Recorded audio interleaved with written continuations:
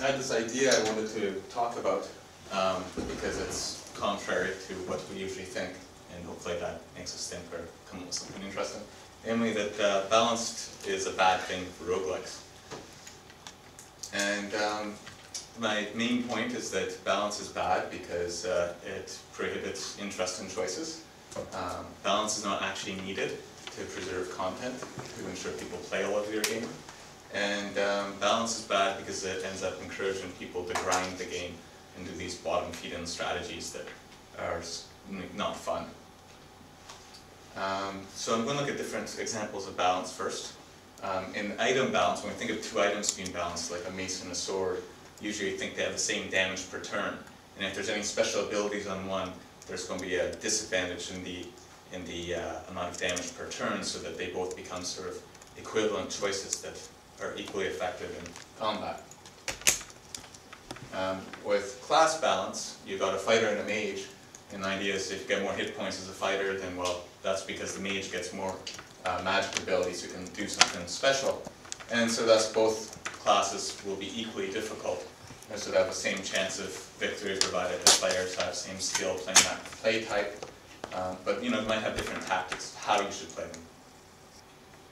Um, when we say a game is balanced, often the one, one point is usually those other things are balanced, but I also like to bring up the idea of game to game being balanced, namely two play sessions are equivalent to each other. So each time you start the game up, you're going to have the same chance of winning as you did the previous time. And this comes with the idea of fairness, namely that every time you play, you can win. And um, there's no cheap shortcuts where you can um, skip a lot of content and get to the end, you know, by running through a wall or something like that. So my first claim was that balance was bad for interest and choices. Um, interest and choices is an idea that we often bring up for what makes games fun. Namely, you have two things you can do, A or B, and uh, a player that just wants to win. And if A is the same as B, in other words, they're actually balanced choices, then it's actually a meaningless choice because all you're really doing is picking flavor. It's like picking what name is for your character. No matter what name you have, it's going to have the same in-game effect, so it doesn't really matter what you pick. If A is better than B, then it's a trivial choice. You should always pick A, so you don't have any actual interest in part to it. So the, the one part that remains interesting is when the player doesn't really know if A is better than B, and that's interesting until the player gets good enough that they can categorize it into one of these two scenarios.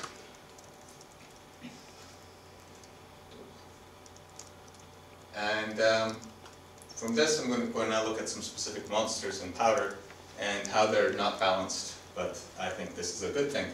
Um, the kiwi in Powder is this flightless bird, which uh, is not uh, aggressive by default, but it is has no special rewards if you kill it. Um, it's the same experience level as other um, creatures that are weaker, and uh, it's and the entire point of it is just for players to decide not to fight it. And so the, um, the, the, interesting thing they're trying to discover is, should I fight the kiwi? And this gets, uh, isn't even asked by beginners to just run into it and try and kill it, it's on the map. And for experts it becomes something trivial. Oh, I don't fight it, I just try and avoid it. Um, the next one is uh, skeletons in powder. These are another low-level monster. It's aggressive, unlike the kiwi, so you can't just ignore it. Um, but it has no special reward, yet it's more powerful than it really should be. And uh, the advantage of having a, a, monster like this that's unfairly powerful is uh, then um, decisions about um, whether or not you use your special one-off abilities um, become more relevant because if you have a wand, you should use it on a skeleton. If you have a magic spell, you should use it right away with the skeleton um, rather than um, saving it for some future time. Whereas if you, if all monsters were balanced equally powerful to each other for their level, you would have, wouldn't have a reason to um, conserve things. You should use it on the first monster because it's as likely to kill you as the next monster. And uh, then we have the final monster in Powder, Beelzebub. And um, if you play the game slowly, he ends up being very weak um, compared to the other monsters you're fighting. And that's because you've leveled up a lot more than sort of expected for that character. Um, but then if the uh, if we made the uh, Beelzebub more powerful, then the uh, other players that might play the game very quickly would feel the need to grind up their ability to get powerful enough to fight them. And so you'd lose the ability to choose to die quickly rather than um, just uh, um, you know, going very slowly through the dungeon. Um, when we talk about unbalanced classes, there's a lot of uh, other things that suggest this is a good idea. NetHack makes a very big point about the classes being a sort of difficulty level. In other words, the fact that they're not, they're not balanced is a virtue. Tourists are supposed to be harder than uh, Valkyries. Um, and some would actually argue NetHack's not unbalanced enough, namely the classes all end up the same at the end. And it would be better if they're more unbalanced so that tourists remained harder throughout the entire game. Um, and then we come into the idea of, well, instead of classes as difficulty level, classes should be representing play styles. And um, my response to that is that I, I don't like the idea of the player having to tell the computer what their playstyle is at the start of the game and then sort of stick with it. It's uh, sort of more like the idea of the playstyle being determined by the computer so they can just play the way they want to and then get the class that matches how they play. And that's what I try to do with Powder's God system where the, the idea is that the classes you're given to level up on are the ones that match how you're already playing um, rather than you having to say, I'm going to play as a rogue this game, and then hope that you um, actually do end up playing that way.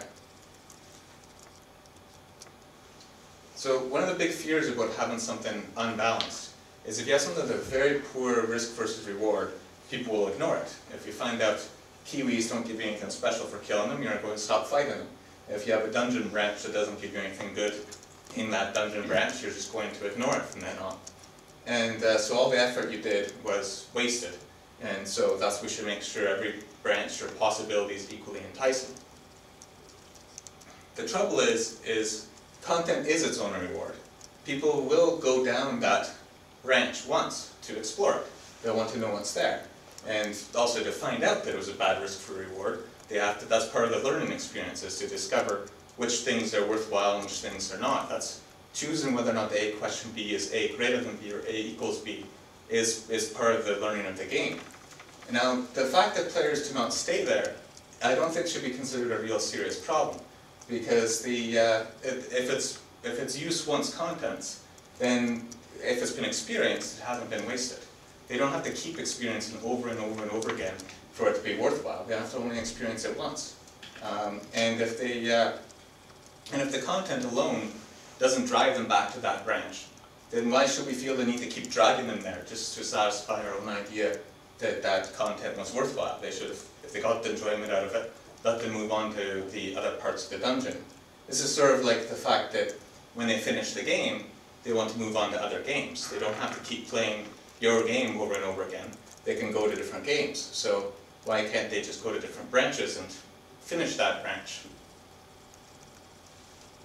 And finally, I'm going to bring up the fairness of games in general. Um, and Powder is a very unfair game, and it varies wildly in difficulty from play session to play session, because there's a lot of out of out of depth monsters being generated easily, and uh, the random number generator um, means that there can be a lot of different quality equipment you can find in the early levels that really affect how hard it is. And um, so let's look at what happens if we had made powder more balanced. If the games are balanced compared to each other, um, then every game should be winnable. So you've got some sequence of actions that you can figure out trivially to sort of solve that game. And the, the trouble is that usually means there's some cautious, safe, and sort of bottom-feeding strategy which lets you win the game. Is sort of like a grinding type approach to winning the game. So how do we deal with the fact that this grind, grind path exists? Well, one option is to embrace it, and um, I'd say Angband and Diablo sort of do this, where they focus on a good grind, you know, the enjoyable grind, where, you know, all the decisions you face, you sort of can figure out what the right thing to do is, but it's taken all your concentration to make this decision, so it's, it's a fun zone to be in. You get into the zone, you play the game, and you can just, just play it. But what you're doing is very much a repetitive grind approach.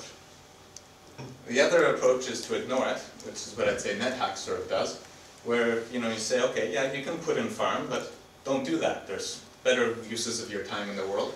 And uh, so it's a naturally, um, natural safe thing that you won't, won't, keep doing that unless you want to. And um, if people waste their real world time because they're trying to win your Skinner box, is that a real problem? Well, I don't know. I, I kind of think it might be a real problem where we shouldn't be encouraging people to waste their time. The other approach is to make it unprofitable because if this grind bottom feeding strategy can be identified and removed from the game, then what's left is just the sort of um, difficult playing strategies, which are the ones we want people to actually play. And this is what Crawl's been working very hard on doing. And um, it's, it's a very difficult goal because there's a lot of different ways to bottom feed and a lot of different things, loopholes you have to close. The other strategy I suggest is to be unfair.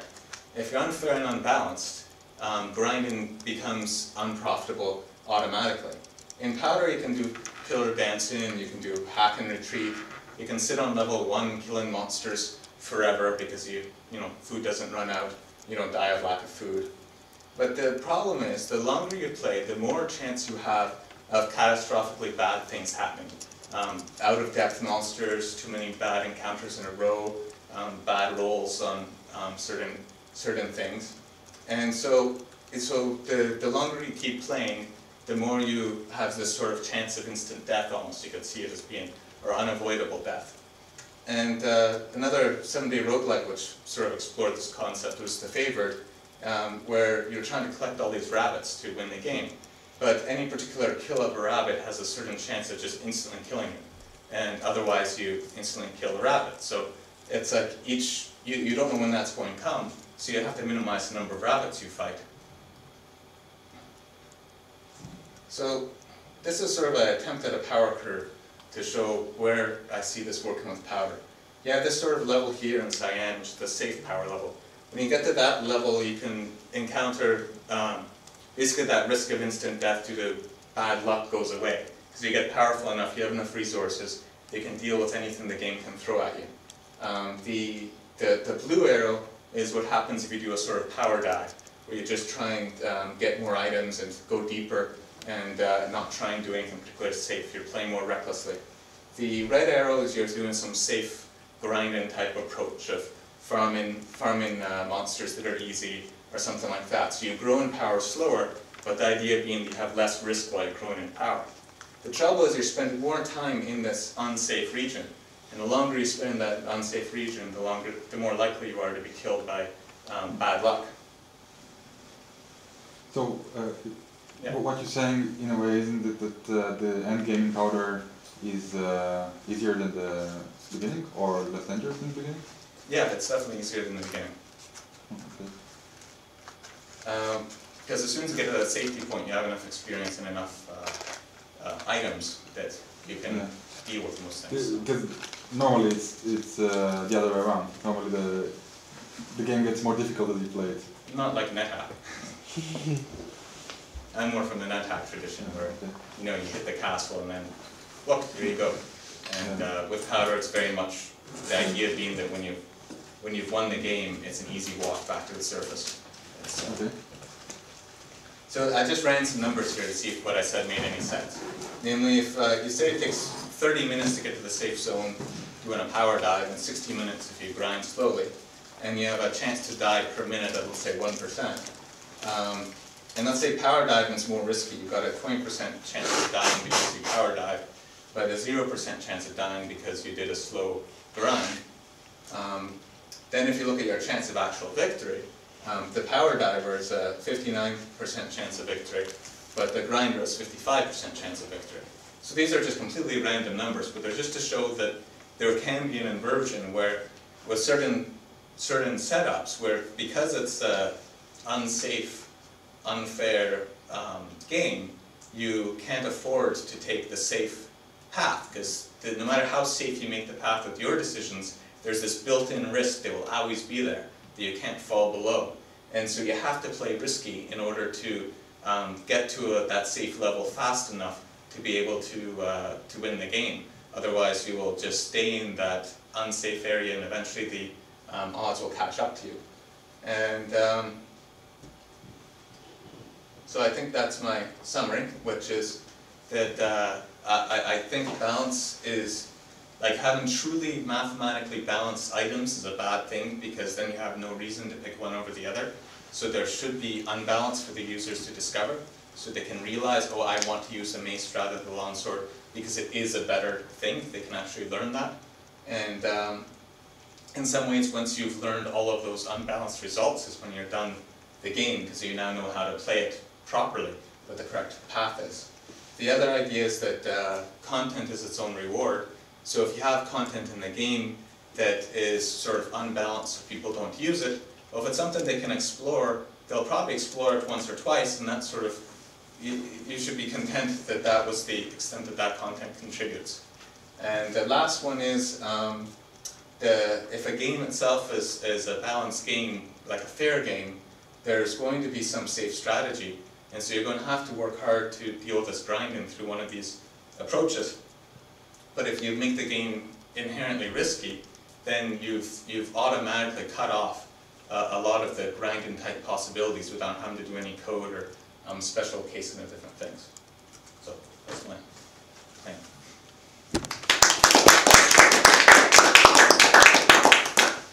Um, your last conclusion is only correct if you don't have a clock in the game that drives the player.